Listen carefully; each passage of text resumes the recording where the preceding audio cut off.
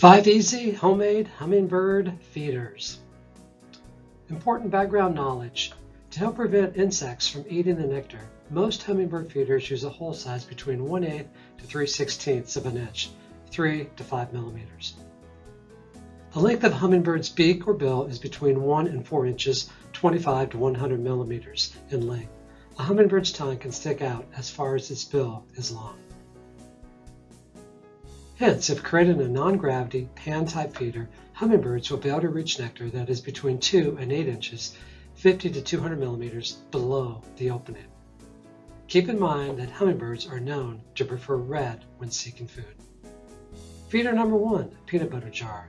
Find an old peanut butter jar with a red lid, drill, drill several holes, and hang. Feeder number two, spice container. Clean and fill an old spice container with nectar, hang, or place on a level surface. Feeder number three, mason jar.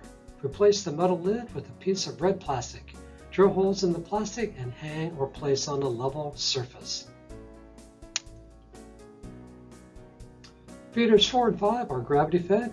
These feeders require you to purchase a hummingbird feeder tube.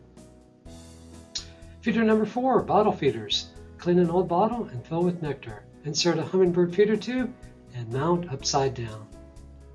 Feeder number 5, wine bottle feeder.